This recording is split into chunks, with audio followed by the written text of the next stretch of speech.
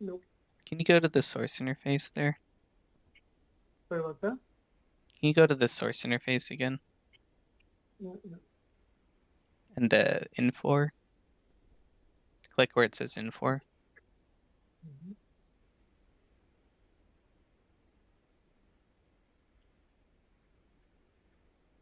Now we can create a company if that's what they're saying.